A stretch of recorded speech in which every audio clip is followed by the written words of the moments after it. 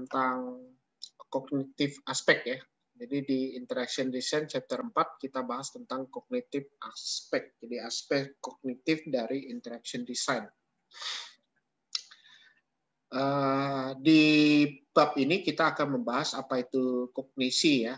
Kemudian mengapa sangat penting ya dalam hal mempelajari atau memahami uh, interaksi manusia dan komputer, human computer interaction ya kemudian mendeskripsikan bagaimana kognisi ini bisa kita terapkan pada interaction design.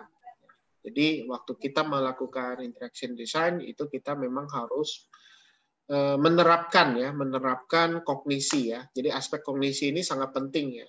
Jadi harus kita terapkan di dalam sebuah interaction design. Kemudian eh, menjelaskan ya apa yang menjadi model mental dan bagaimana untuk melakukan uh, elicit ya elisitasi dari model mental tadi ke interaction design ya. Kemudian uh, mengcover ya teori yang relevan terhadap dari aspek kognitif ya. Ini ini di pembahasan di tentang cognition. Nah, sekarang kita mulai dengan namanya cognition itu apa sih? Ya, cognition itu adalah satu proses ya, satu proses untuk berpikir ya, mengingat, belajar, daydreaming ya, mimpi di siang hari gitu ya, eh, decision making ya, artinya kita mengambil satu keputusan, melihat, membaca, berbicara, menulis dan segala sesuatu aktivitas itu yang kita namakan dengan kognitif. Nah, untuk mengklasifikasikan kognitif ini ya dari sisi level ya oleh Norman itu dikategorikan ke dalam experiential dan reflective cognition. Ya. Kalau di oleh Kahneman itu dibagi menjadi dua, ya. ada klasifikasi yaitu fast dan slow thinking. Ya. Kenapa? Karena kognitif ini bisa berkaitan dengan bagaimana kita berpikir, bagaimana kita mengingat, bagaimana kita menghafal, ya itu termasuk kognitif. Ya.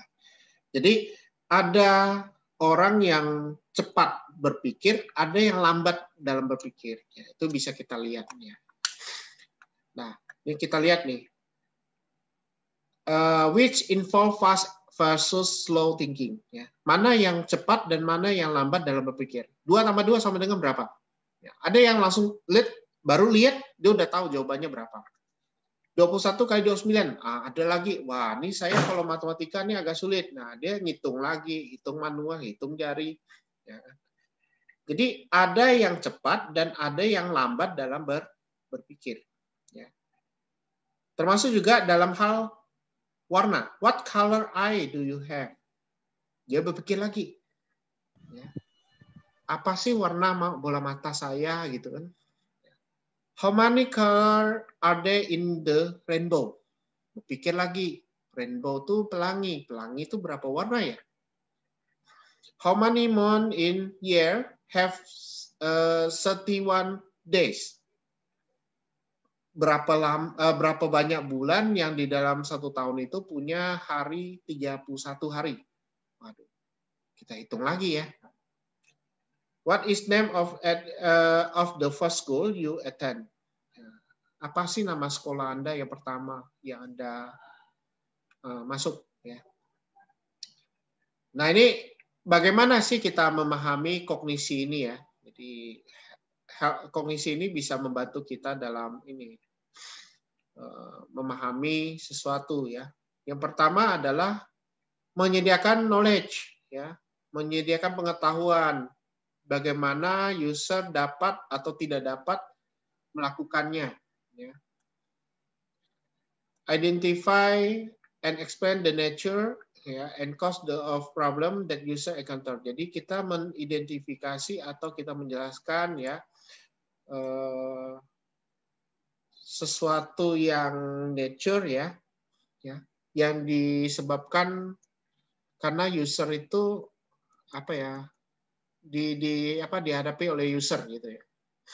Contohnya misalnya ada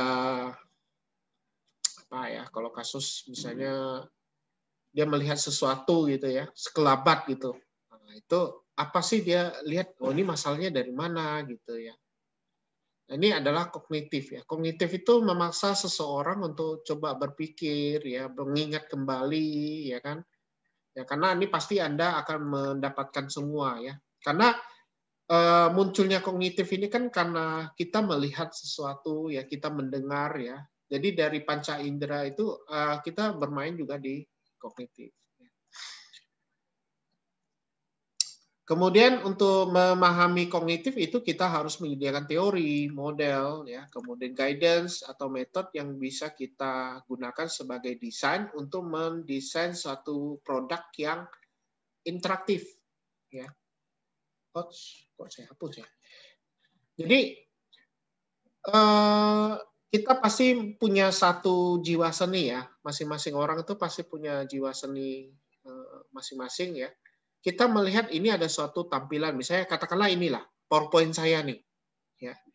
Ini PowerPoint default ya dari bukunya, ya. Kira-kira menurut Anda PowerPoint ini bagus nggak? Dari sisi kognitif ini bagus nggak? Apakah ini akan membantu Anda untuk berpikir secara cepat atau berpikir menjadi lebih lambat? Nah, gitu. Begitu Anda lihat ini, apakah Anda langsung mengingat? Nah, gitu. Nah, itu adalah sisi kognitif yang kita mau. Ya.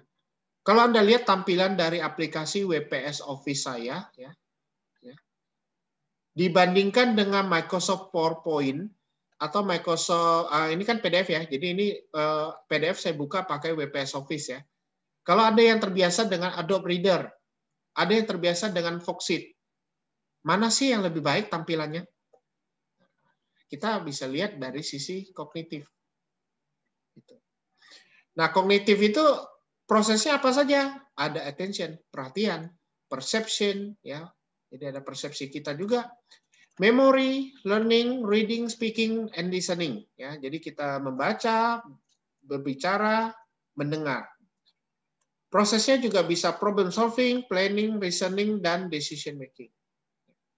Ini adalah proses-proses di dalam kognitif. Nah, sekarang kita lihat masing-masing ya, attention. Attention ya. Berarti kita fokus pada sesuatu ya.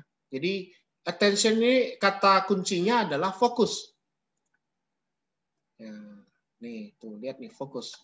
Selecting things on which to concentrate at the point in time for uh, from the mass of stimuli around us. Jadi Anda ini disuruh memilih sesuatu, kemudian Anda konsentrasi pada poin tersebut. Ya. Allow us to focus on information that is relevant to what are we doing. Jadi kalau Anda memasukkan unsur konektif ya, kognitif proses ya, terutama untuk perhatian. Jadi kalau misalnya Anda mendesain satu produk, eh, mendesain satu web atau mendesain satu aplikasi gitu ya, ini akan menjadi perhatian orang gitu, attention. Jadi orang tuh akan lebih fokus. Ya. Sekarang kan yang lagi heboh ini kan game apa nih? Among Us ya. Game Among Us itu berhasil mengalahkan ratingnya PUBG Mobile. Ya. Game ini kok kalau kita lihat ya secara apa ya, tren teknologi game ya. Gambar grafiknya pun di bawah-bawah standar dari PUBG kan kalau dilihat ya tapi kenapa dia bisa menjadi ratingnya tinggi? Ya, kenapa? Banyak diunduh orang. Kenapa? Karena dia punya attention. Orang akan memilih perhatian dengan konten dari game. Ada sesuatu yang ditawarkan oleh game ini sehingga orang itu jadi eh, tertarik dengan game ini. Ada attentionnya, ada fokusnya. Fokusnya apa? Karena game ini kan fokusnya adalah Eh, mencari atau menemukan impostor ya. Nah, sesuatu yang unik yang di game lain nggak ada gitu. Walaupun mainnya ini multiplayer, tapi dia bisa membawa eh, game ini menjadi sesuatu yang fun, ya, yang happy. Kenapa? Karena di situ Anda ada terlibat, ya, adanya suatu unsur visual, ada audio juga, ya, dan ini fokus. Ya, walaupun kalau kita lihat di dalam gamenya itu memang kita akan ter dipecahkan ya di attentionnya itu kan selalu dibikin bercabang gitu ya. ya. Nah di situlah kita memilih ya fokus and divide attention. Jadi kita fokus kemudian kita membagi perhatian ya. Enable us to selective in term of the mass of competing stimuli. Ini. Ya, cuma ya kita punya waktu uh, punya kemampuan harus untuk menjaga track kita agar Eh, produk kita ini sesuai ya. Kemudian uh, lakukan desain ya sesuai dengan rekomendasi ya. Jadi information uh, at the interface should be structured to capture user attention. Jadi uh, pembuat game Among Us itu berhasil ya membuat satu interface ya yang di mana dia bisa mengambil atau mengcapture user attentionnya itu. Ya. Jadi ini sesuatu yang penting ya. Kalau misalnya Anda membuat sesuatu program atau sesuatu web atau satu aplikasi mobile, wah boleh dalam bentuk game ataupun dalam aplikasi, sehingga orang itu tertarik gitu. Ini ini harus bisa kita capture. Caranya apa? Kita lihat dari perceptual boundaries. Misalnya dari Windows kah, modelnya mau Windows kah, atau dari sisi warna, reverse video, sound, and flashing light, dan sebagainya. Ini model yang dipakai di desain. Ya. Contoh, ini adalah sebuah tampilan ya. Find the price for double room in quality in Pennsylvania. Kalau kita melihat satu tulisan kayak gini, ya, menurut Anda orang tertarik nggak? agak susah untuk kita melihat ya. Nah ini eh, desain yang seperti ini apakah ini baik atau kurang gitu ya. Nah biasanya kalau yang seperti ini biasa eh, user itu ya agar bisa menarik perhatian ya mungkin judulnya kita buat eh, price for double room tapi kita buat misalnya ada query-nya gitu ya. Jadi yang ditampilkan bukan kayak gini gitu misalnya ya. Kalau yang seperti ini kan tulisannya agak rapat ya. Mungkin kalau yang orang yang matanya agak bermasalah, ini akan jadi satu kesulitan, satu problem. Ya. Itu. Bagaimana sih kita melihat nilai price untuk double room? Nah, kalau kayak gini kan merapat ya tulisannya ya.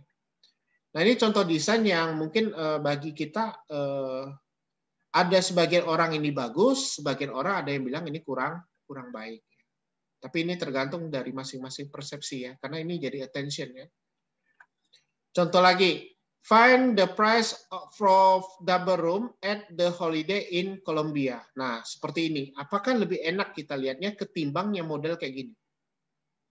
Kalau yang ini dia rapikan, ya dia kelompokkan, ya kalau ini kan dibikin uh, ini campur ya. Kalau yang ini tampilannya dibikin uh, model tabel.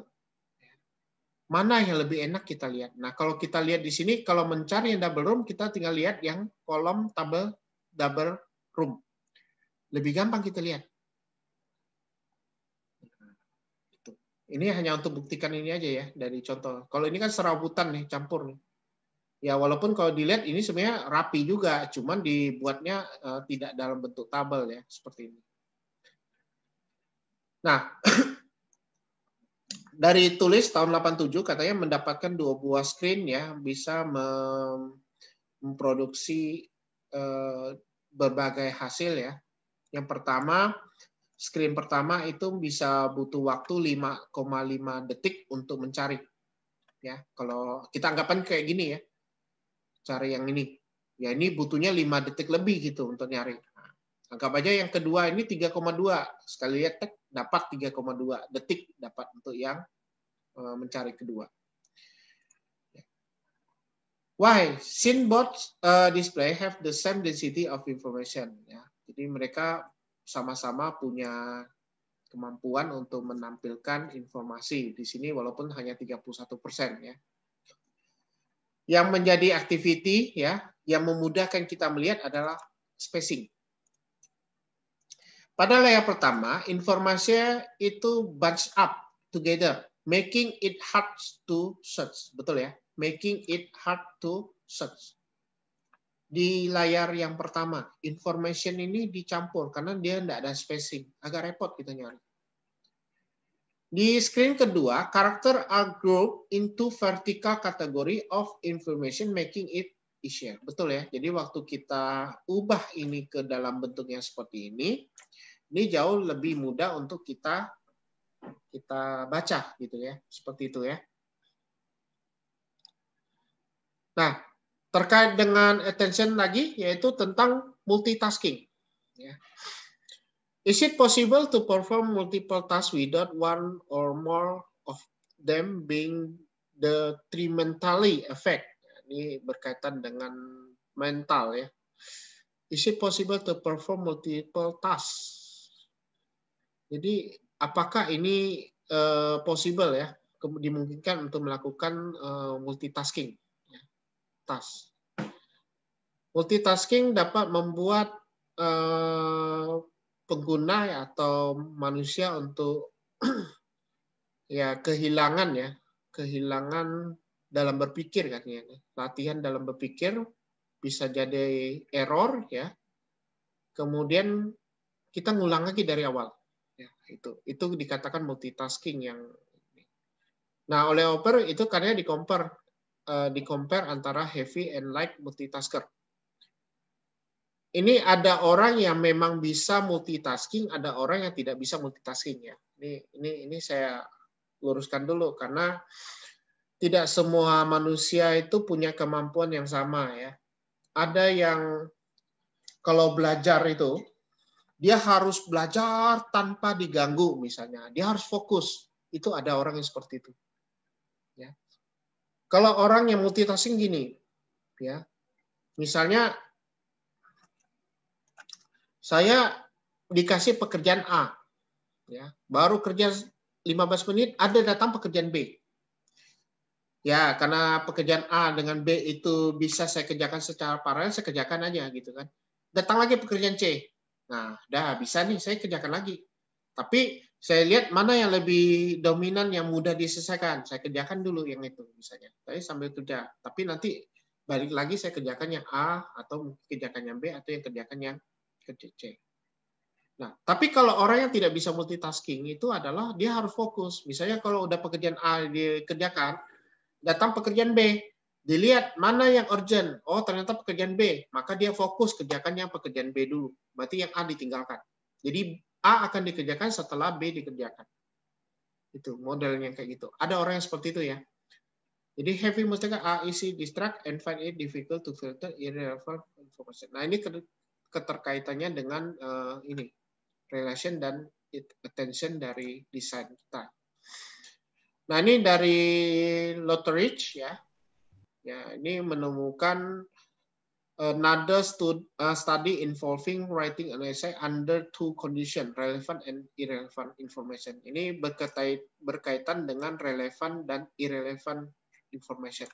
Kenapa? Karena ada beberapa desain ya beberapa desain, kadang-kadang kita memasukkan sesuatu yang relevan dengan yang tidak relevan. Ya. Contoh sederhana lah, misalnya kita mendesain sebuah poster, ya, misalnya sebuah poster. Poster itu tentang eh, seni musik, ya, misalnya ya, seni musik hanya lagu gitu ya dan sebagainya gitu ya lomba poster seni musik misalnya saya masukin gambar orang main bola.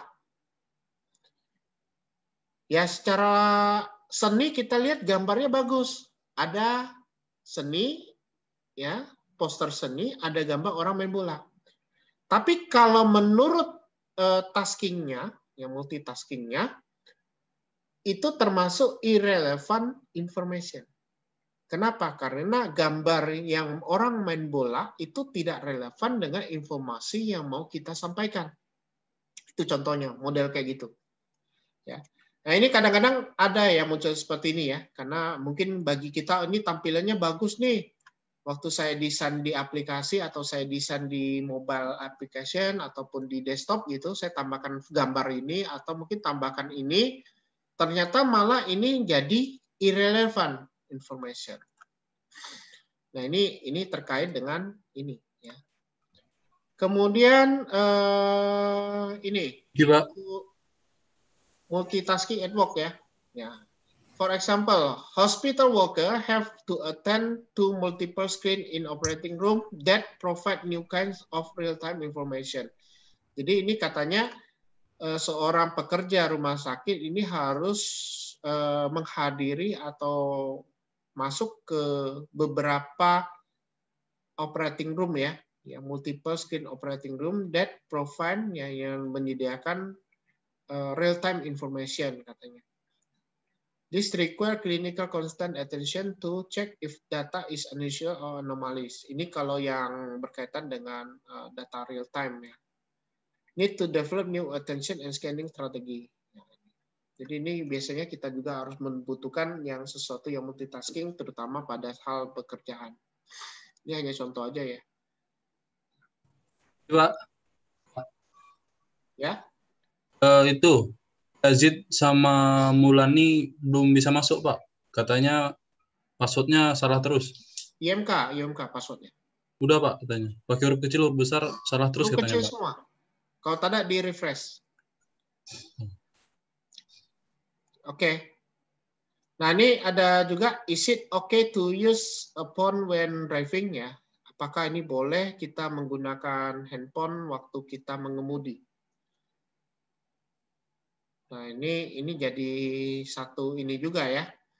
Kalau kita melihat dari aturan ini tidak boleh. Tidak boleh. Ya. Jawabannya memang tidak. No.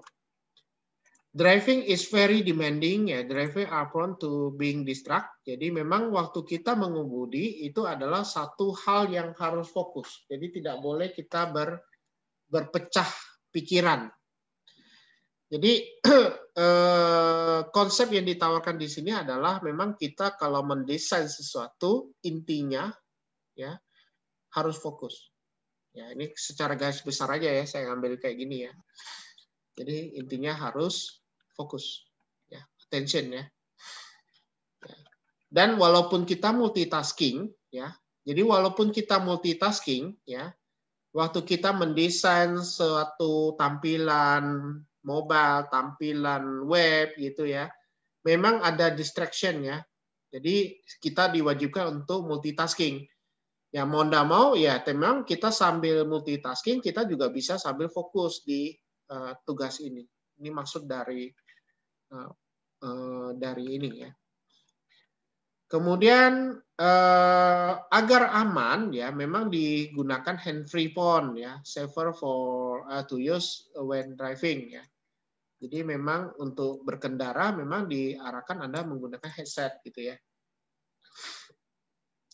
Jadi memang sangat berbahaya kalau Anda berbicara pada saat kita driving ya, karena sudah lost uh, lost focus ya sudah distract ya. Kita mengemudi kan soalnya fokus, tapi begitu ada telepon masuk, kita sudah terdistract. Gitu. Ya, terus desain implikasinya untuk attention apa? Nah ini konteks. Make information salient when it need to be attend and given state of task.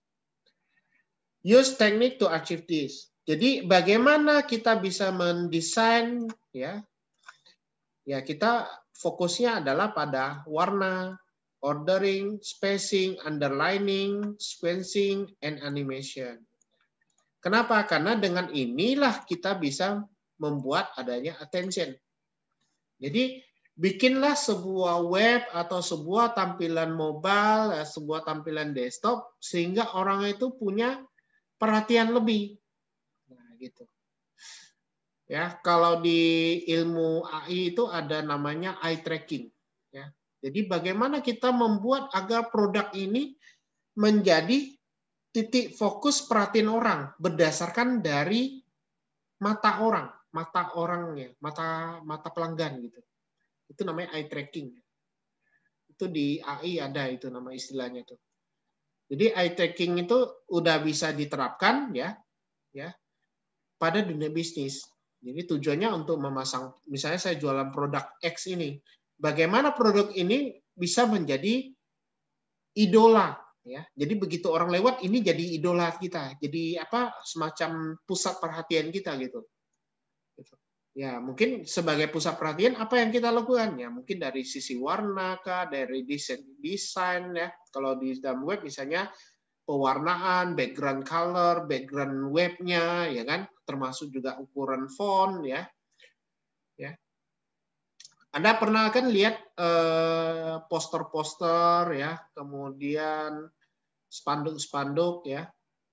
ya. Ada yang desainnya itu simple tulisannya bisa dibaca gitu ya. Ada juga yang bikinnya terlalu wow, tapi begitu dibaca tulisannya tidak jelas gitu. Jadi kayaknya perlu kucuk-kucuk mata dulu ya. Tapi begitu lihat mata berkunang-kunang lagi gitu kan.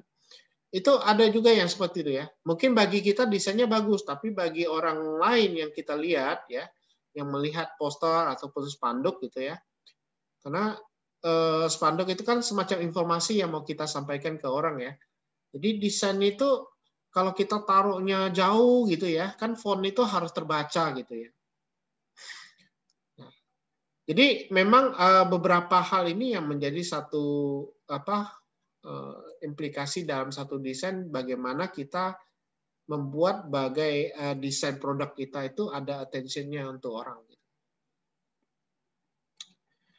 Avoid clutter visual interfacing with too much information. Jadi jangan terlalu banyak juga informasi yang kita tampilkan. Nah, ini. Jadi eh, karena pengennya itu kita punya wow gitu ya. Jadi tampilan formnya atau ataupun di desain webnya itu kita bikin dalam satu tampilan layar itu penuh. Jangan buat seperti itu juga. Ya too much information juga kurang bagus. Ya kalau model kayak gini bisa aja kita bikin misalnya ada apa menu yang kita roll up, roll down gitu dan seterusnya ya mungkin seperti itulah. Jadi kita bisa uh, ringkas ya gitu. Jadi jangan terlalu padat penuh dengan tulisan ya. Itu pasti orang juga malas juga lihatnya. Gitu. Ya. nah, selain itu ada konsep tentang persepsi. Ya. Bagaimana informasi ini bisa apa ya mentransformasi menjadi suatu experience. Ya. Nah ini dalam mendesain ya memang kita harus punya persepsi di mana nanti desain kita teksnya itu bisa legible, kemudian icon should be easy, bisa kita lihat ikonnya itu bisa dimengerti gitu loh. Jadi jangan bikin ikon-ikon yang tak jelas. Ya. Kalau misalnya ikonnya tak jelas ya mungkin harus Anda tambahkan satu informasi di bawahnya, caption di bawahnya gitu ya. Contoh kalau e-commerce Anda pakai ikon keranjang gitu. Jangan bikin ikonnya tuh yang aneh-aneh selain keranjang. Jadi orang berpikir ini gambar apa, ikon ini untuk apa gitu ya. Karena itu punya persepsi yang berbeda. Ya. Kenapa uh, tombol untuk menyimpan selalu gambarnya itu gambar disket gitu? Kenapa saya nggak kasih gambar printer aja gitu kan? Karena persepsi orang kalau gambar printer berarti dia mencetak. Ya kan? Gambar uh, new file itu adalah sebuah gambar new file yang ujungnya itu dilipat gitu. Kemudian untuk open itu selalu gambar folder. Selalu kayak gitu. Ya, kenapa? Karena orang punya persepsi bahwa itulah eh, tombol-tombol yang dipakai, gambar-gambar yang dipakai untuk melakukan aktivitas tersebut. Ya. Nah, beda sama yang yang mungkin uh, waktu Anda mendesain, Anda pikir ikon ini bagus gitu ya. Tapi Anda masukin waktu pengguna make, wah, apa ini? Saya tak ngerti ikon ini. Nah, gitu. Jadi kalau bagusnya memang kita harus menyiapkan beberapa ikon yang sudah umum digunakan ya, jangan terlalu mencolok ya, walaupun kita mau paksa dia itu jadi apa ya jadi satu pusat perhatian ya tapi eh, harus punya persepsi lah ibaratnya ya bisa membangkitkan informasi berupa persepsi dari pengguna. Ah ini ada tampilan juga ya. Is color contrast good? Nah sekarang anda cari Italian. Bisa nggak anda cari kata Italian di sini? Wah ini kan kita nyari salah satu nih. Wah. Ya. Ini dibedakan hanya warna blue dengan white. Ya. Nah, sekarang kalau saya kelompokkan dalam bentuk ini, kotak-kotak. Menurut Anda mana yang lebih enak kita lihat? ya. Jadi modelnya border, kemudian white space. Jadi putih warna pemisahnya. Jadi dikasih border. Kalau ini kan uh, tidak dikasih border ya, hanya dikasih warna. Mana lebih enak? Kalau di sisi seni ini kayaknya cantik gitu ya. Kalau ini kayaknya ya biasa aja gitu ya. Tapi mana yang lebih baik dalam hal mendesain? Itu uh, tergantung dari uh, para penggunanya ya. Nah, Weller ya, found people took less time to local item for information that was grouped ya. Using a border second screen compare with using color contrast in first screen. Jadi di sini dia membandingkan antara yang menggunakan border dengan warna color color contrast. Some argue that too much white space on web page is detrimental to search process. Jadi katanya kalau Anda menggunakan banyak white space, itu akan menjadi satu kesulitan dalam mencari informasi. Ya, kalau dilihat ini kan kayaknya memang sulit untuk kita cari informasi ya. Ini tergantung Anda nih. Make it hard to find information. Do you agree? Silakan Anda berpikir apakah aktivitas ini menjadi sulit ya. Termasuk ini, activity. Which is easy to read and why. Kalau Anda lihat di sini, mana yang lebih mudah Anda lihat? Anda baca. Kalau di sini backgroundnya itu adalah suatu apa ya background ya berwarna hijau yang punya motif kemudian fontnya itu berwarna merah.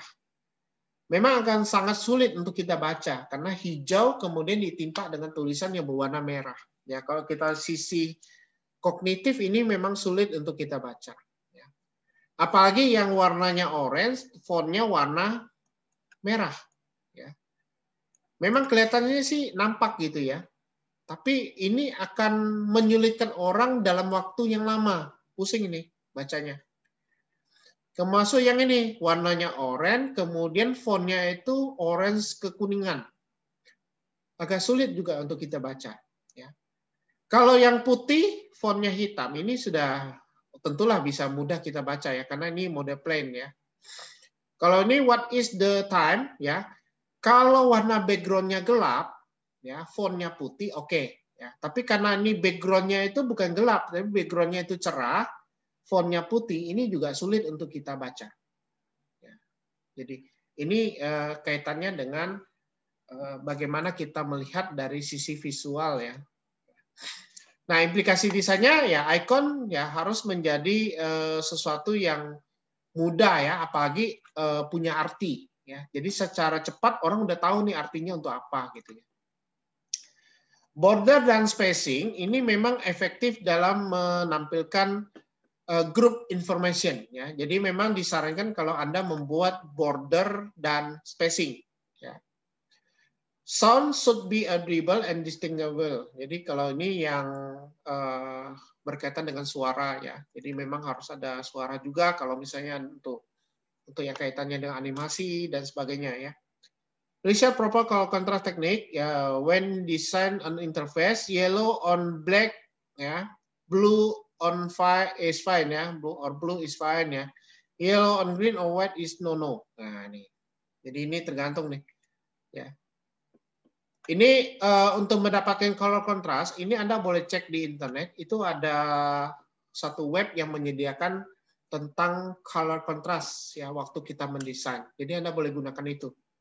Ya. Jadi gunakan color contrast teknis untuk uh, mendesain web ya. Jadi uh, mendesain suatu web dengan warna-warna tertentu ya, itu memang ada panduannya untuk color contrast. Jadi uh, memudahkanlah. Ibarat waktu desain itu ya warna yang cocok tuh ini loh. Nggak kalau pakai warna yang lain itu nggak akan cocok, nggak matching. Anda boleh cek aja ya color contrast teknik ya. Bisa saya cek dulu di Google ada nggak ya? Template ya.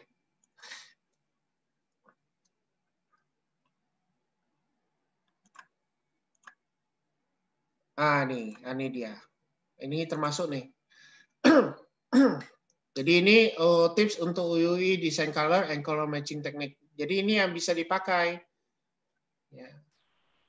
Jadi ada warna-warna yang dipakai. Misalnya untuk giant goldfish, ini ada lima warna yang bisa kita gunakan sebagai padu padannya. Jadi nggak bisa sembarang juga warna yang kita gunakan. Ya, kalau misalnya yang Ocean 5 berarti kita pakai yang mode gini warnanya. Kalau yang ini Ocean 5 ya. Yang ini Terra. Nah, kan?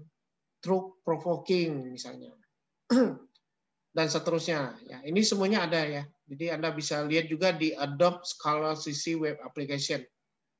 Jadi ini untuk melihat uh, kecocokan dari warna ya. Uh, ini banyak juga nih material UI yang bisa kita cek ya.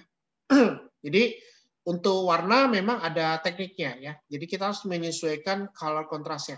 Ya. Ini silakan Anda coba cari aja ini untuk UI design color.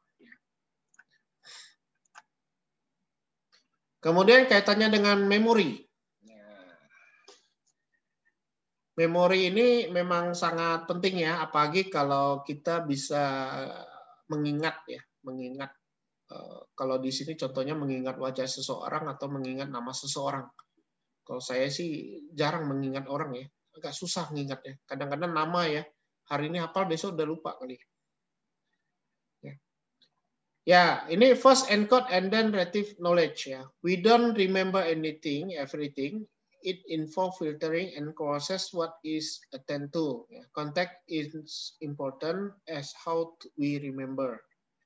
Jadi memang konteks itu sangat penting uh, bagaimana kita mengingat. Ya. That is where, when, how, and so on. Ya. Jadi memang uh, kaitannya memang harus kita memasukkan unsur memori ya, dalam mendesain.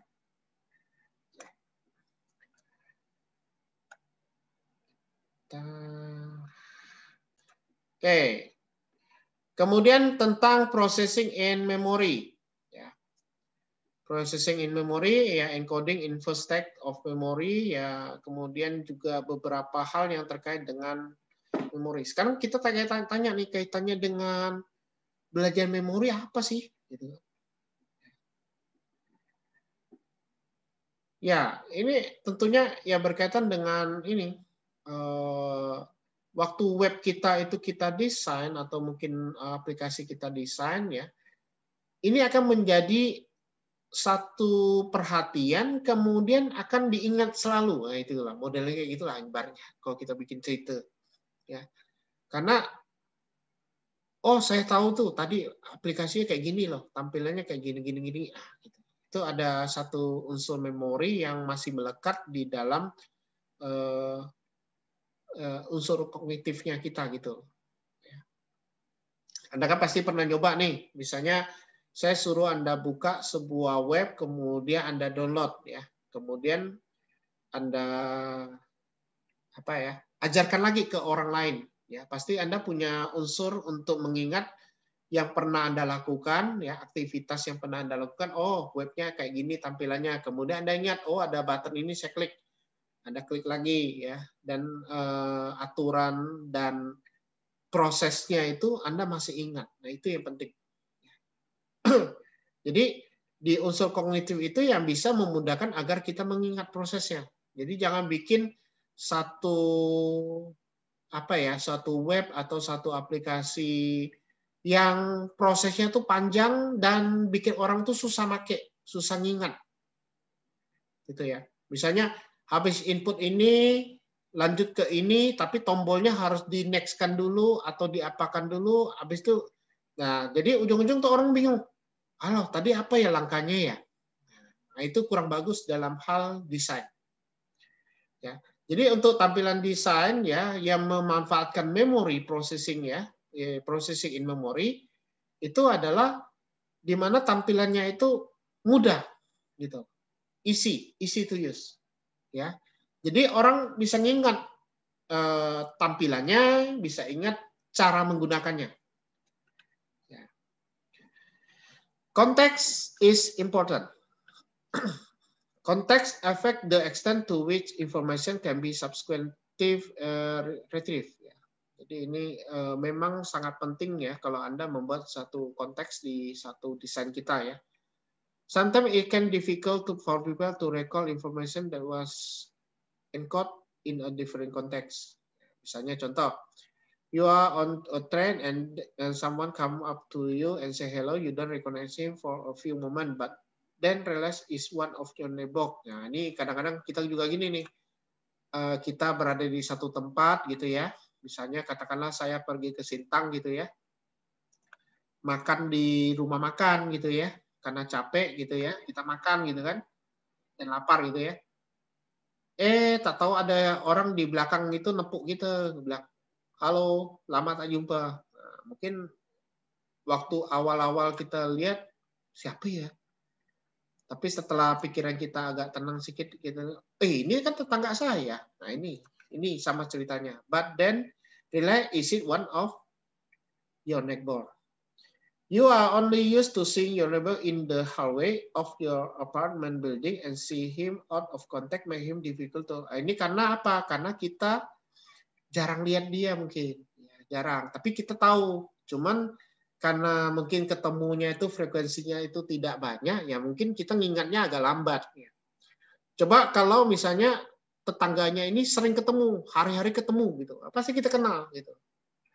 Ya, jadi ini mungkin pengalaman ya. Ini ini ini yang kita masalah namakan dengan konteks is important. Oke okay, ya.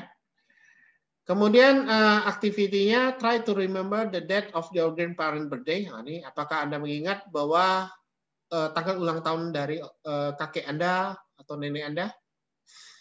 Saya aja enggak apal nih. Try to remember the cover of the last two book you read. Nah, ini saya terus terang buku yang baru saya selesai baca adalah buku Interaction Design. Dan satunya lagi buku tentang Swarm Intelligence ya.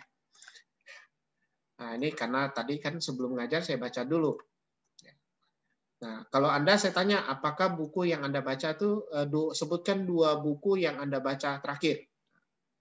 Mungkin Pak agak sulit untuk dia ingat ya. Kalau saya masih ingat karena tadi masih fresh. Which was easy ternyata buku lebih gampang kita ingat ketimbang tanggal lahir. Kalau saya lah, karena saya tidak apa lagi ini. People are very good at remembering visual cues about thing ya. Jadi memang Anda lebih gampang mengingat sesuatu yang dalam bentuk visual ya. For instance, the color of item, the location of object, and the marks of object. Misalnya kalau di sini Anda menghafal cover buku. Ya. Mungkin kalau ditanya, hmm, Anda membaca artikel apa sih? Ya, ya, ya. Misalnya Anda suka baca-baca gitu ya, nah, apakah artikel yang terakhir Anda baca? Misalnya, Anda masih ingat gitu kan? They find it more difficult to learn and remember arbitrary material, example birthday and phone number. Ya, saya terus terang birthday and phone number memang agak sulit untuk kita remember ya. Kecuali tanggal tertentu, momen-momen tertentu. Misalnya tanggal lahir kita sendiri, masa enggak hafal gitu kan. Phone number sendiri, masa enggak hafal gitu ya. Minimal satu nomor. Saya punya tiga nomor, tapi yang saya hafal cuma dua nomor Satu nomornya saya tidak hafal karena itu kartu internet. Ya, kemudian recognition versus recall. Ya, ini command based interface require user to recall from memory a name from possible set of 100 of name. Jadi bagaimana kita mengenali ya beda dengan cara kita memanggil. Jadi mengenali dan memanggil itu berbeda ya. Ya, jadi ada beberapa interface berupa command base ya yang dipakai oleh user untuk mem memanggil memori ya dari 100 nama yang mungkin nah, misalnya. Nah, misalnya graphical interface provide visual based option misalnya dari sisi menu, icon ya.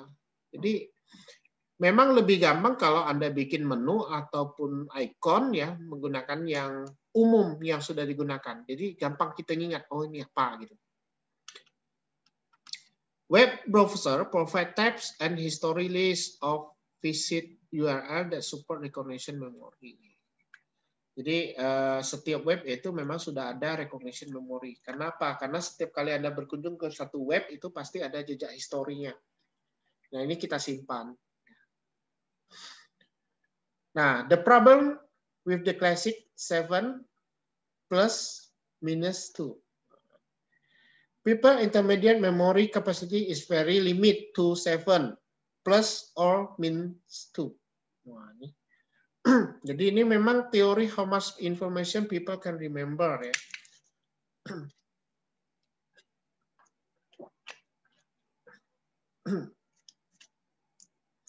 Jadi memang eh, kita kalau membuat satu desain ya memang eh, memang sulit ya, eh, gampang-gampang sulit lah kita mendesain sesuatu di mana orang itu kalau misalnya menggunakan aplikasi kita itu gampang mengingat gitu. Nah, itulah bikinnya sesuatu.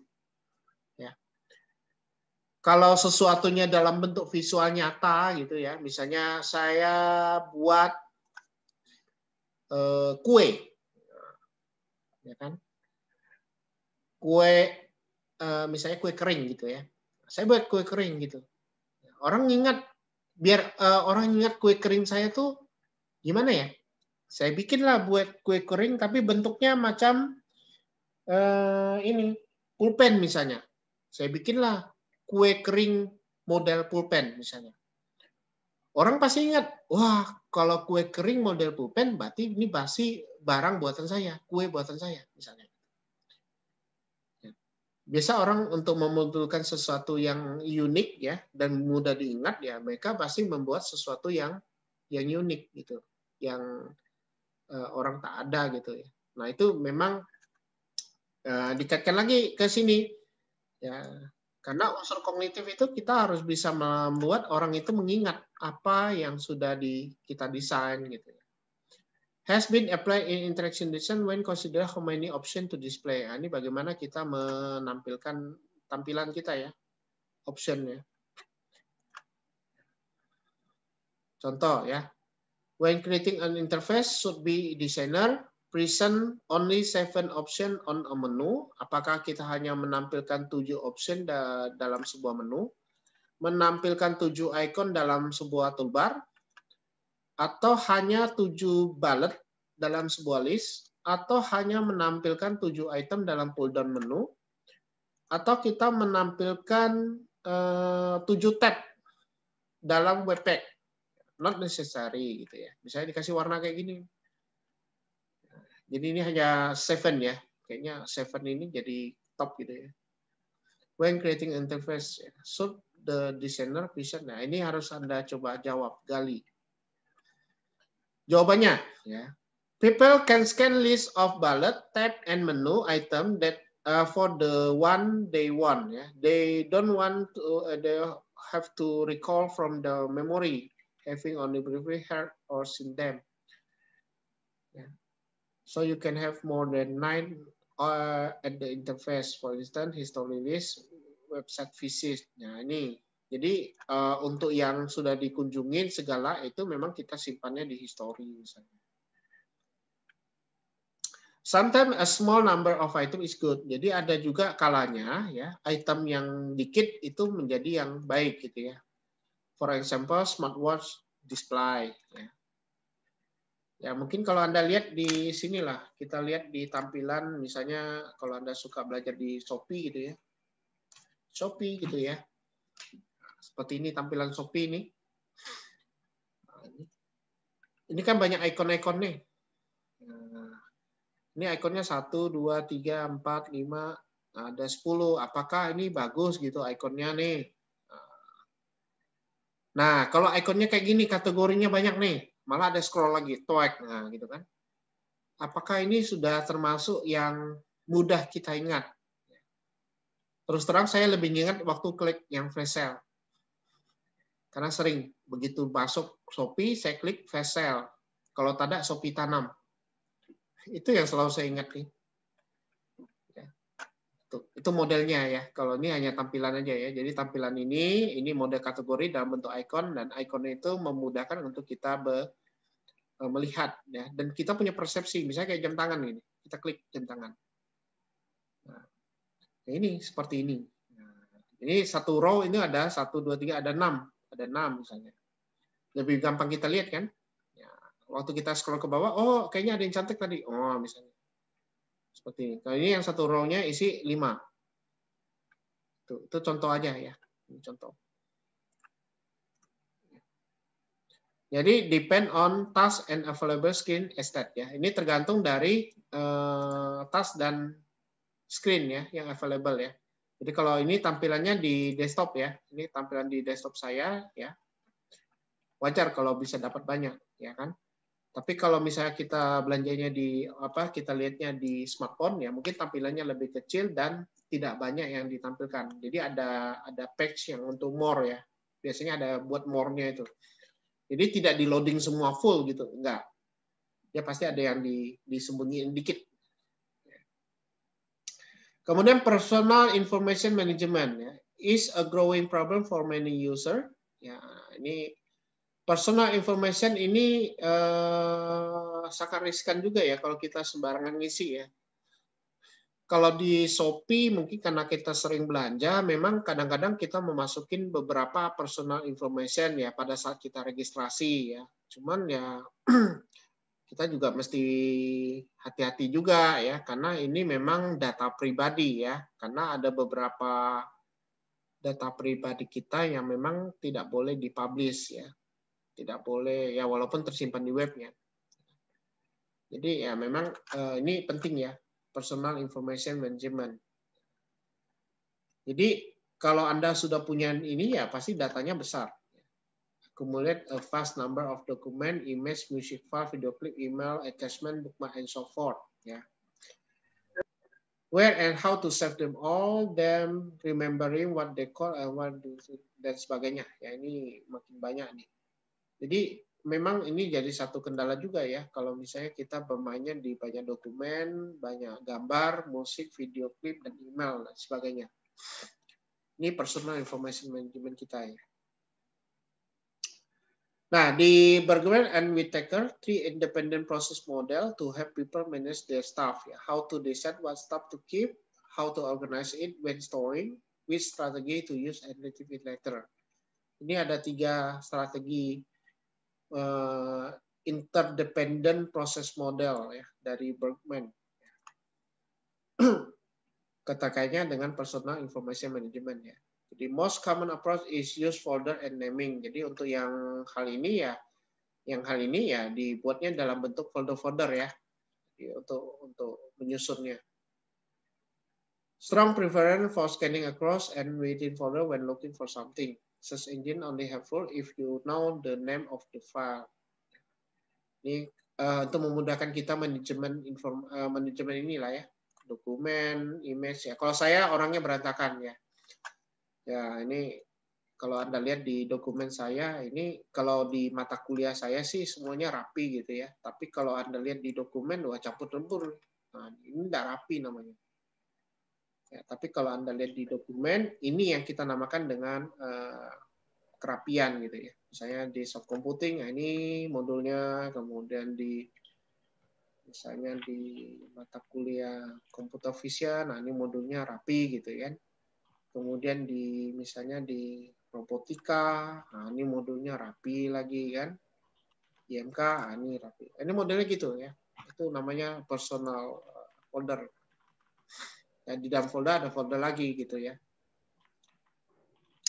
Nah, ini terkait dengan Apple Spotlight Search Tool ya. Ini eh, di dalam aplikasi atau di dalam Apple itu memang ada satu tools ya namanya Apple Spotlight Search Tool untuk mencari file ya.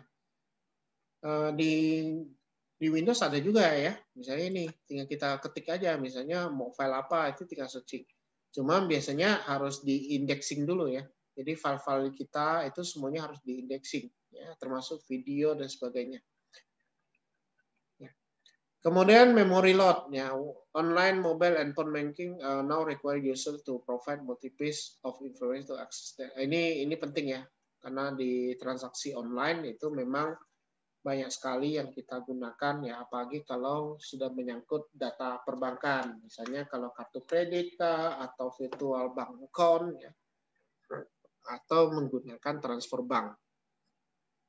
Maka yang bisa kita ngisikan tuh kode pos, ya, eh, tanggal lahir, ya, dan sebagainya lah, ya sebagai untuk uh, eh, autentikasi lah untuk tambahan autentikasi. Ya, tujuannya untuk security. Jadi uh, di dalam web yang nanti kalau Anda mengembangkan sebuah e-commerce gitu ya, ya kalau bermain dengan virtual bank account ya Anda buat dia koneksinya ke virtual account ya. Atau koneksinya kalau bayarnya pakai Alfamart, Indomaret ya gunakan API itu ya. API yang dipakai untuk bayarnya di Indomaret ataupun uh, Alfamart ya. Termasuk juga kalau yang bayarnya kartu kredit. Ya tentunya web Anda harus punya sertifikasi ya, jadi nggak sembarangan juga karena harus ada sertifikasi. Karena kalau orang transaksi ya memang harusnya secure ya. Apalagi kalau misalnya kita menggunakan kartu kredit kan harus mengirimkan tiga digit terakhir ya, tiga digit yang belakang kartu kredit ya. Nah, itu VVC number itu harus kita masukin. Nah itu jangan sampai diambil sama orang yang tidak bertanggung jawab. Itu itu bagaimana kita desain itu. Berarti harus kita pikirkan juga tentang security. Kemudian digital forgetting ya. Bagaimana sih kita melupakan apa nih digital forgetting ya? Ya, when might you wish to forget something that is online ya? When you break up with a partner, wah ini kayaknya Anda bisa putus nih. Emotional, painful to remember them uh, through phone, social media, and so on. Jadi ini kayaknya ini kalau orang putus cinta secara digital ya. Jadi waktu Anda putus cinta dengan pasangan Anda, ya terkaitnya dengan emotional painful katanya nih. Jadi foto-foto sosial media yang berkaitan dengan partner Anda ya pasti Anda blok lagi lah kayaknya nih. Nah ini saya guess why uh, harvesting and deleting digital context. Ya. For example, making photo for X into an abstract collage. Nah, nih. Jadi yang mantan-mantan itu disimpan ke abstract collage. Ini khusus yang suka melupakan mantan ini boleh lah. Ya. Kemudian memory edge. Ya, ini sense cam ya. Kemudian ya ini tujuannya untuk merestore data ya, data memori kita. Nah, ini bisa kita lihat lah banyak sekali sih aplikasi ataupun software ataupun uh, wearing device yang bisa kita gunakan untuk uh, sebagai memory edge. Ya. Ini contoh untuk SenseCam, ini kalau kita ingin melihat sesuatu ya. Nah sekarang tren yang terkarang ini adalah model pen kamera ya. Nah, mungkin Anda pernah lihat ya, pen namanya pen CCTV. Ya, ini ini saya pengen beli sih, cuma belum beli nih. Jadi modelnya bentuk pen gitu ya. Daripada pakai kamera kita pegang gitu kan kelihatan ya. Ini sudah ada nih, harganya murah juga nih. Ini yang mahal nih 3 juta, 6 jutaan. Kalau di Shopee ada yang murah nih. Nah, 75 ribu lagi. Boleh ini dibeli nih. Jadi ini untuk CCTV. Jadi bisa kita pakai untuk sense cam ya. Design implication ya, reduce cognitive load uh, by avoiding long and complicated procedure for carrying out tasks. Ini untuk mereduksi kognitif ya. Design interface that promote recognition rather than recall. Ya. Nah, memang uh, waktu kita mendesain interface ya, memang kita harus fokusnya di recognition ya, ketimbang kita memanggil record. Jadi recognition yang paling uh, paling penting dalam unsur kognitif ya untuk desain interface. Kenapa? Karena pengennya web ini kita buat nih, jadi orang udah tahu nih, ini web ini untuk apa sih? Oh, web ini apa sih? Itulah. Itu recognition namanya. Kalau Anda bikin web, tampilannya kayak gini. Ini web apa ya? Web hacking kah? Web commerce kah? Web untuk apakah ini? masih raba-raba. Ah, ini bingung. Nah, jadi bikin web itu orang udah tahu nih isinya tuh untuk apa gitu loh. Jadi itu untuk recognition. Provide user with various way of labeling digital information to help them easy identify it again. For example, folder, kategori, color, uh, flagging, and time stamping.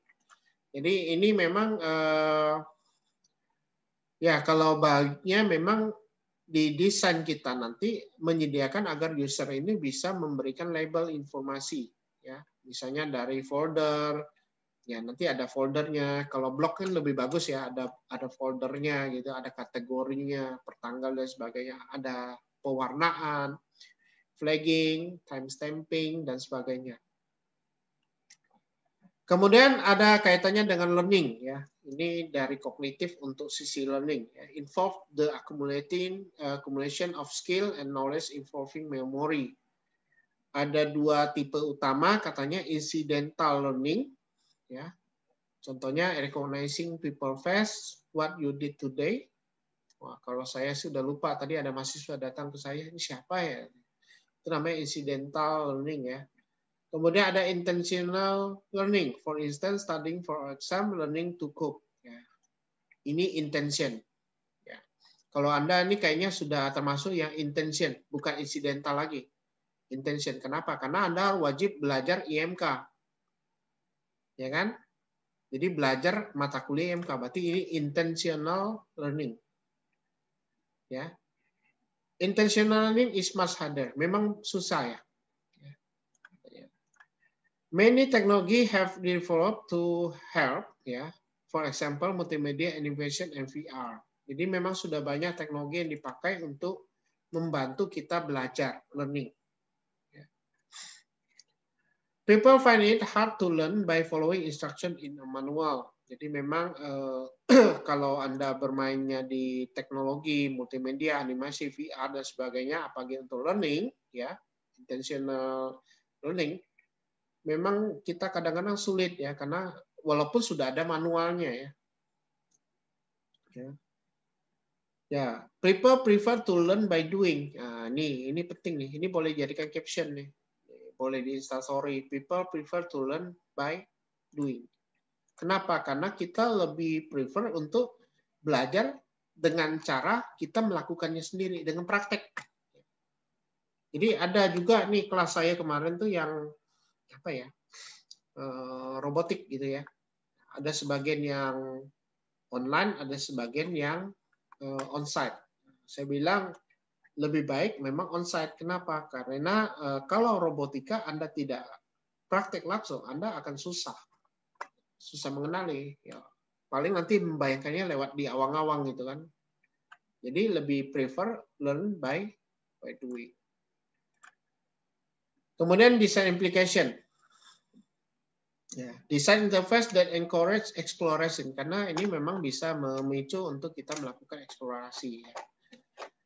Uh, kemudian design interface that constrain and guide learning learner. Ya. Jadi bisa memandu uh, orang yang mencoba desain kita. Gitu. Dynamically linking concept and represent can facilitate, uh, facilitate the learning of complex material. Jadi ini memang ada kaitannya dengan uh, fasilitas ya dalam bentuk kompleks material. Kemudian terkait reading, speaking, and listening ya, it easy uh, with people can read, listen, and speak different. Ya. Jadi ini lebih gampang kalau Anda membaca, mendengar atau berbicara. Ya. Jadi kalau Anda belajar aja, belajar bahasa Inggris gitu ya. Kalau Anda mengandalkan membaca, ya, saya yakin uh, untuk conversation Anda pasti sulit. Ya. Listening, ya paling ini hanya membuat Anda itu lebih lebih apa ya menangkap ya. Uh, dibandingkan dengan apa ya uh, reading ya. Karena reading itu memang lebih gampang ya karena kita cuma baca gitu ya. Tapi kalau speaking itu adalah uh, hal yang memang sulit ya. Kayak saya ini ngajar sambil speaking gitu ya sambil speaking bahasa Inggris gitu ya karena saya lagi belajar saya reading sekaligus speaking ya tapi listeningnya nggak ada gitu kan jadi saya melakukan dua hal, reading dan speaking. Tapi saya lakukan bersamaan pada saat saya ngajarnya di sini. Di sini dikatakan listening require less cognitive effort than reading of speaking. Dyslexic have uh, difficulty understanding and recognition written word. Ya, memang lebih susah kalau kita membaca. Ya, kenapa? Karena ada beberapa kata yang mungkin anda tidak ngerti. Ya, ya gitu. Kalau speaking kan ya tinggal ngomong aja gitu kan. Application ya. Terkait dengan application,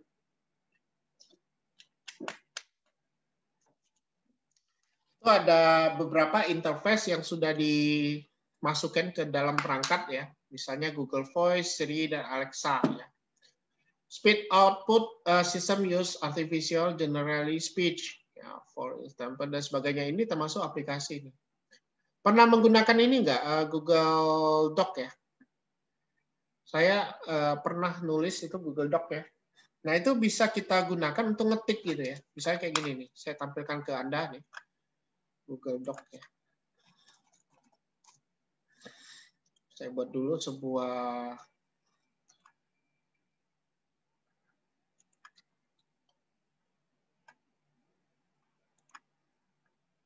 Ya, ini Google Doc ya.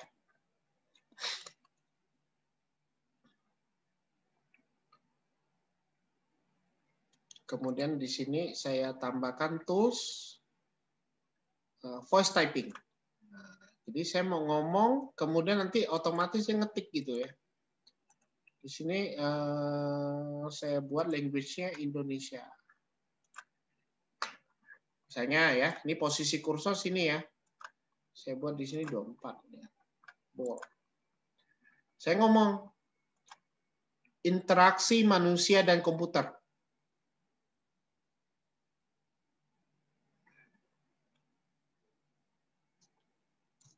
Nah, sudah terketik kan? Ini saya tidak ketik loh. Ya, walaupun ada beberapa yang eh, mungkin bahasa Indonesia saya dianggap bahasa Inggris ya. Jadi ini ada beberapa yang miss ya. Tapi kalau kita berbicara dalam bahasa Indonesia yang baik, ini ini akan dapat eh, hasilnya lebih baik. Ya. Kalau saya ngomong bahasa Inggris ya, interaction design. Nah, bisa kan? Nah, kan Michigan.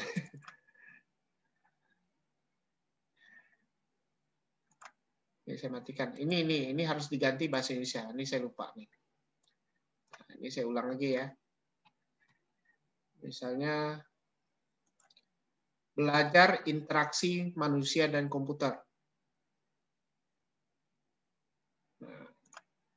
Nah, ini adalah contoh uh, bahwa saya melakukan ini uh, menggunakan voice user interface ya. Jadi memudahkan kita menulis dalam uh, teks ya menggunakan speech. Ya. Ini bisa dipakai di chatbox juga ya. Jadi kalau lebih gampangnya seperti itu. Nah, desain application-nya speed based menu and instructions should be short ya jangan terlalu banyak tampilannya. Nah, kayak tadi di sini untuk speednya saya cuma gunakan tombol ini. Jadi waktu diklik saya tinggal ngomong. Tinggal ngomong ini sudah muncul. Ya. Action action itu perlu ya waktu kita ngomong intonasi itu pengaruh ya. Kayak tadi saya ngomongnya cepat gitu, jadi agak agak bingung ya. Jadi karena dia butuh proses. Jadi usahakan ada jeda kalau misalnya kita buat yang seperti ini. They are hard to understand than human voice. Bagi manusia orang ngerti, tapi komputer nggak ngerti. Karena kita ngomongnya cepat. Apalagi kalau saya ngomongnya pakai musik rap gitu ya. Wah, itu lebih parah lagi, dia nggak ngerti itu. Provide opportunity for making text large on screen. Nah, ini bisa juga kita lakukan. Kemudian kaitannya dengan problem solving, planning, reasoning, and decision making. Jadi all this process info reflective cognition ya, thinking what about to do, what the option are and the consequence. Jadi waktu kita mendesain sebuah uh, produk, sebuah aplikasi, sebuah mobile apps ataupun desktop based gitu ya. Apa sih proses untuk problem solvingnya, planning, reasoning dan decision makingnya gitu. Kita harus pikirkan apa yang akan kita lakukan, apa opsinya, dan apa konsekuensinya. Jadi ini memang harus ada kaitannya ya. Dan di sini banyak sekali hal yang perlu kita gunakan sebagai artefak ya. Contohnya peta, maps ya. Book, pen and paper dan sebagainya. Jadi ini banyak sekali ya. Ada skenario juga ya. Ya ini biasanya waktu kita mendesain lah ya.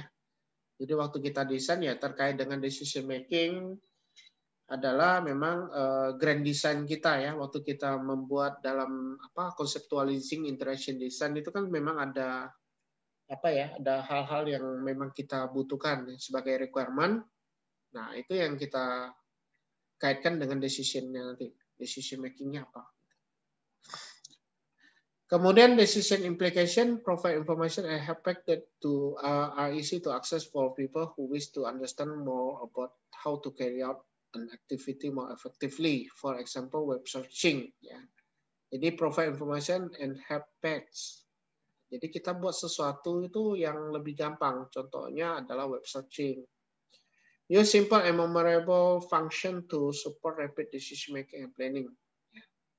Jadi memang diharapkan kita membuat sesuatu yang simple, ya, menggunakan fungsi yang mudah diingat dan simple support untuk mengambil keputusan yang cepat. Itu itu yang dibutuhkan. Contohnya kayak ini ya, ini kan satu tombol yang simpel ya. Jadi satu tombol simpel sekali. Ini udah udah bagus itu. Dilemanya ya, ini ada satu dilema juga ya.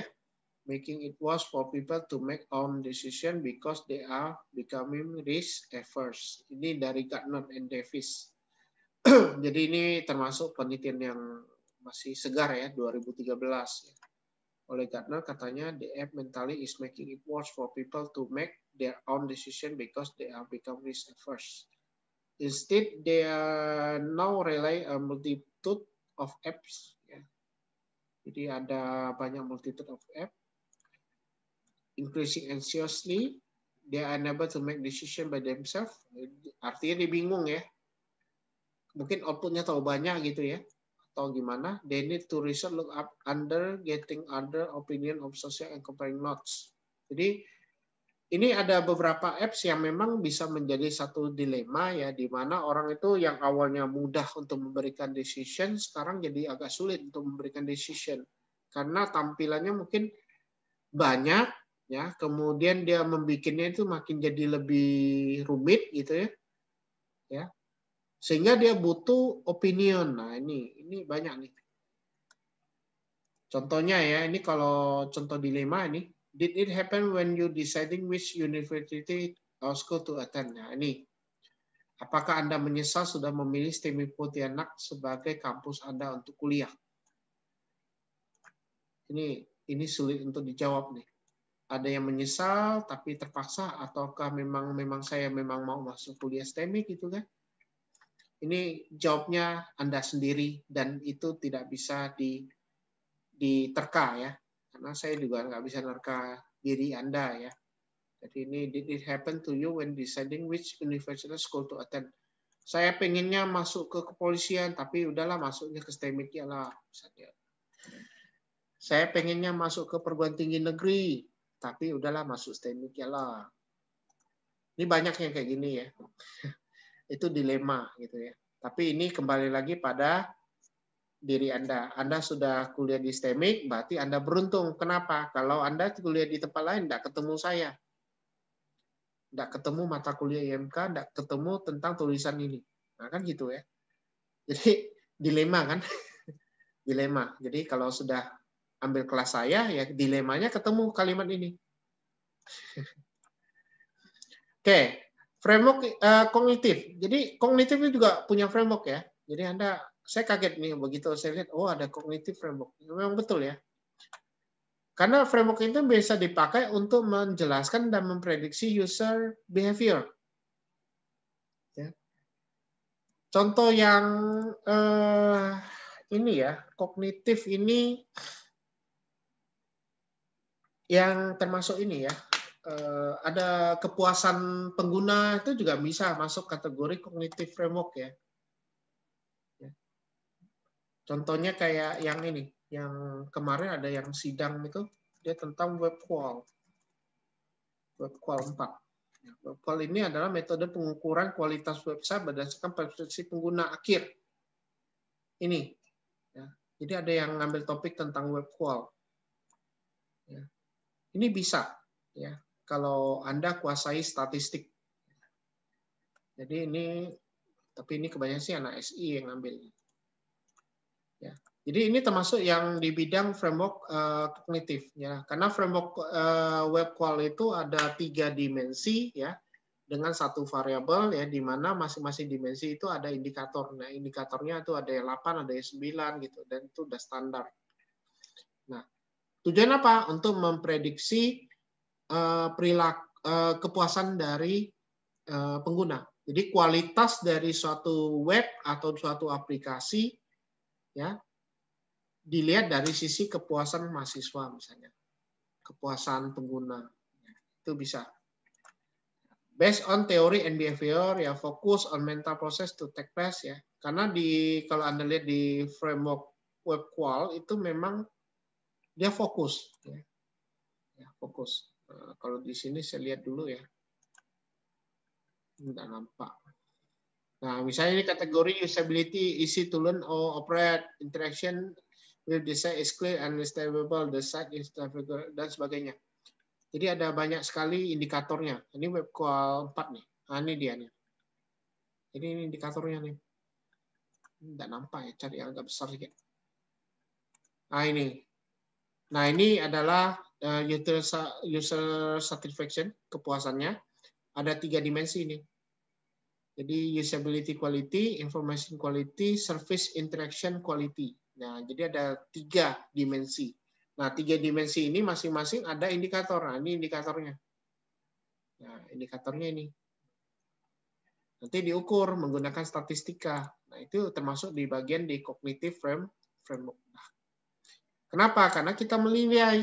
Termasuk juga ini uh, seven Cs framework. Ya. Ini juga untuk analisa ya, analisa apakah web kita ini bagus gitu. Nah ini, jadi untuk customer interface itu ada tujuh, tujuh C ya, yang bisa kita ukur. Jadi ukur konteks, ya, content, community, commerce, connection, customization, dan communication.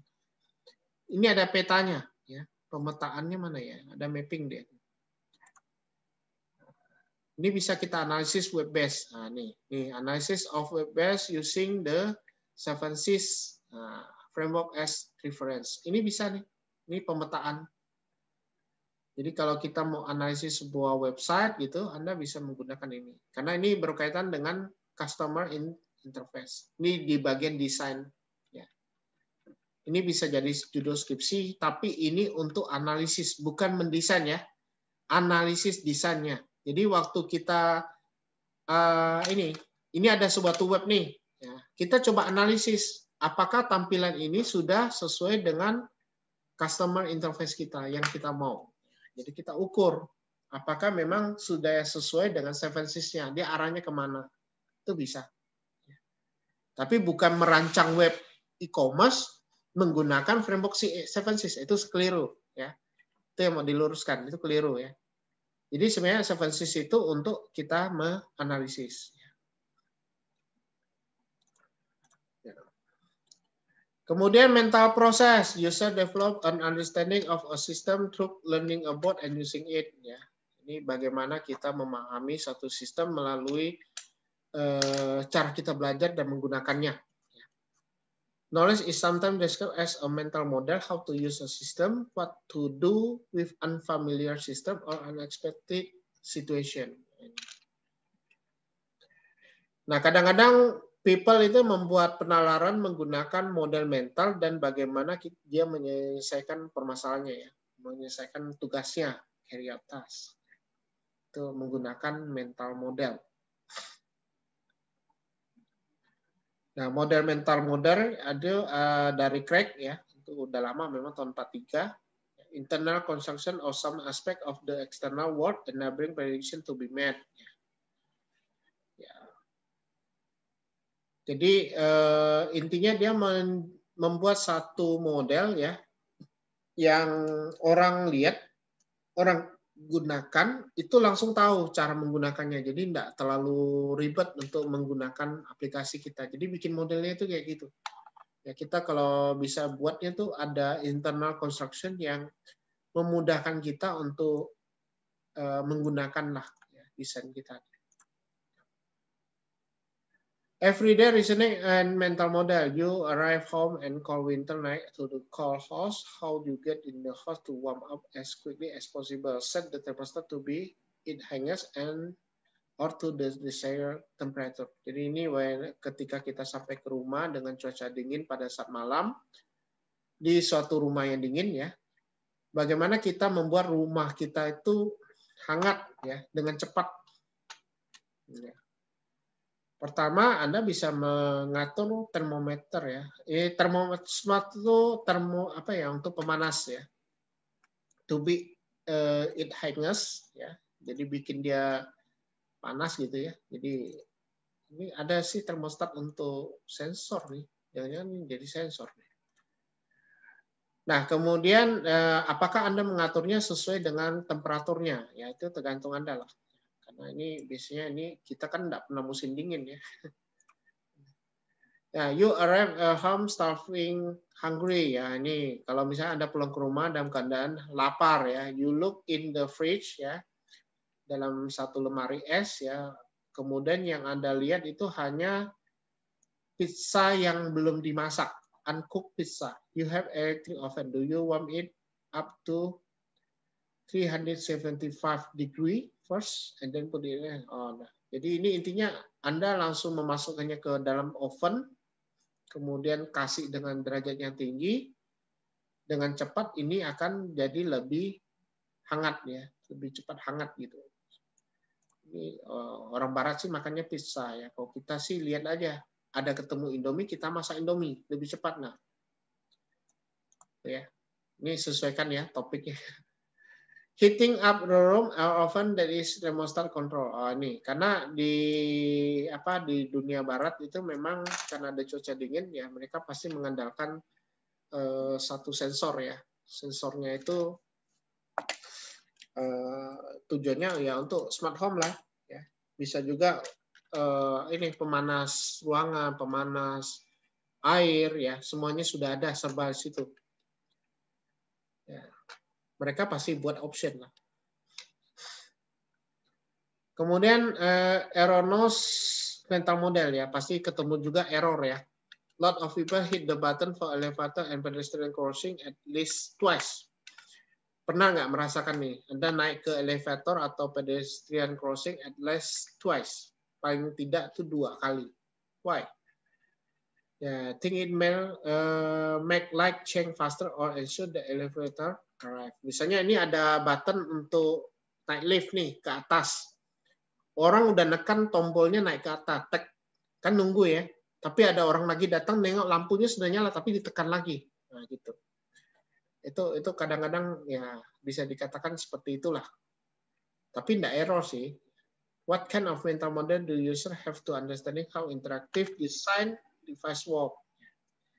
Nah, atau oleh Norman tahun 83 katanya dia poor user kadang-kadang tidak berpikir lagi atau confused ya based on inappropriate analogy and superstition. Ini tergantung dari perilaku juga sih.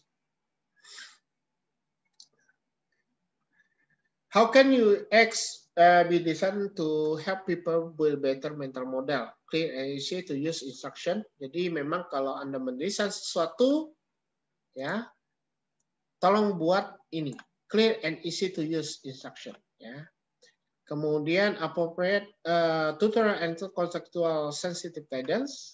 Kalau bisa ada provide online video and chatbot window when needing help.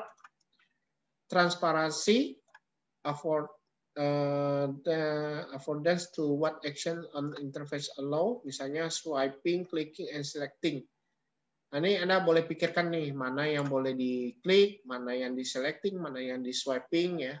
Yang mana lebih enak gitu ya kalau di smartphone enaknya pakai swipe ya swiping gitu ya ada mode klik nggak gitu ada yang mode selecting nggak gitu ini kan lebih repot yang mode selecting yang saya lakukan sekarang ini adalah selecting gitu kan Kan gitu ya.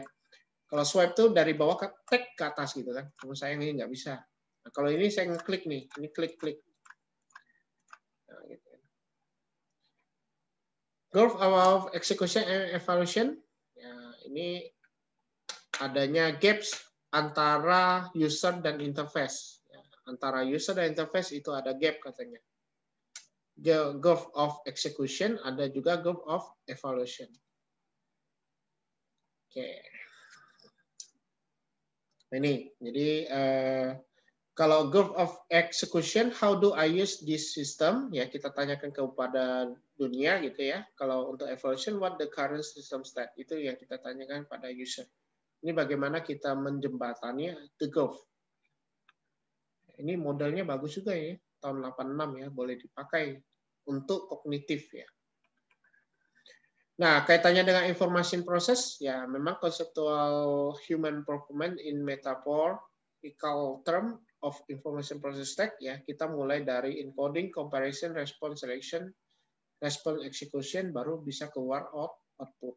Ya, jadi ada empat stack ya encoding, comparison, response selection, response execution.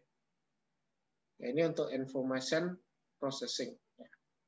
Jadi Anda terima satu informasi, kita encoding, kita compare, kita response selection, kita eksekusi. Barulah jadi output. Ya. Kadang-kadang manusia ini sedang nggak dapat informasi ya encoding tapi dia tidak compare langsung dieksekusi. Nah, itu bahaya tuh, itu penyebar hoax. Ya, itu bahaya nih. Jadi sesuatu itu jangan langsung Anda eksekusi. Ya, Anda langsung encoding dulu, kita compare dulu, benar nggak nih? Kita response selection, benar nggak nih? Kemudian kita execution. Kan gitu. Itu baru jalannya benar ya.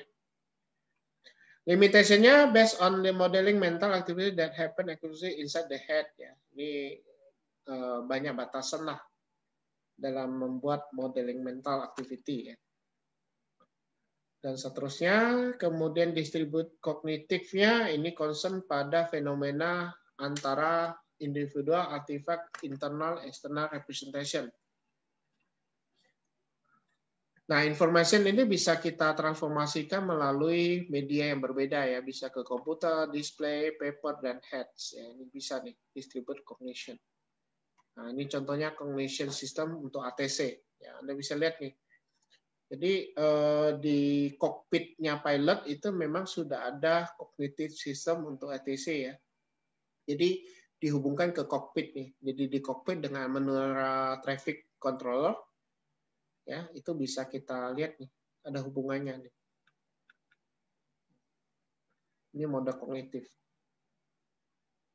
Ya, what involved the distribute problem solving that takes place ya kemudian ada verbal non verbal dan seterusnya oke kayaknya ini bisa kita lanjut ya silakan anda pelajari ya bagaimana uh, unsur kognitif ini sangat penting dalam kita melakukan uh, desain. Interaction. Oke